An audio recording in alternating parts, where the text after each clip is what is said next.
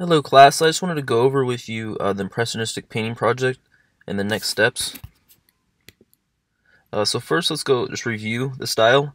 Uh, so we're painting a style that's inspired by the artists and Impressionism movements. Uh, so that includes that includes both European and American Impressionists, as well as contemporary Impressionistic painters. Uh, so the work to the left is a work by uh, Monet, who was a European Impressionist. Um, the work in the middle um, is done by William Chase, who was an American Impressionist. And the work on the right uh, was done by Francis Sills, um, who is an impressionistic painter um, who works today in uh, South Carolina. And you can see a common thread between them uh, with regard to the subject matter as well as the application of paint. So there's two aspects that we're going to focus on in our impressionistic painting. Uh, the first is using impressionistic marks, which we'll define as unblended broken marks with a buttery pink consistency. As, as you can see in the background, um, these marks are distinct and you can see them, they're unblended. And you can see right here is how thick the paint is applied. Okay, it's applied nice and opaque. Okay, and when you're using acrylic, you're not going to be adding a lot of water to it. Second, um, in this style, we're going to be using optical color mixing. And this is where marks of different colors are placed next to each other to create a new perceived color.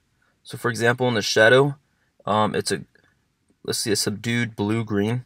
And that's created by combining green marks next to blue marks, next to pink marks, next to purple marks. Okay, and then when you when you look back, it creates this subdued uh, blue-green. Okay, so in the initial layer, our goal was to establish the general colors of our forms. Okay, keeping it simple and working across the whole canvas. And that's what we started in our last class. Okay, and once you have that complete, what you're going to do is you're going to capture the nuances and subtleties within each form. So if we're looking at this tree, um, you can see that it's not brown across the entire tree. In fact, there's there's some greens near the bottom, and this is where the light's hitting the pond and reflecting back onto the bottom of the tree.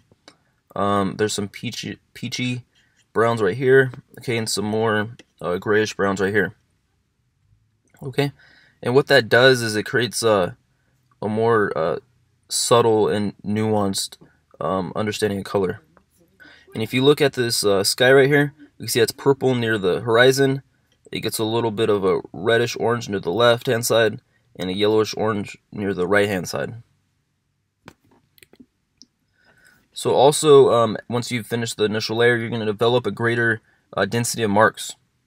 And you can see that in this Monet. Do you see how there's uh, you know, there's multiple sets of marks on top of each other, um, which creates a great mark density. Okay, what this shows is a very careful study of uh, these these uh, natural objects, and that's what you're going to want.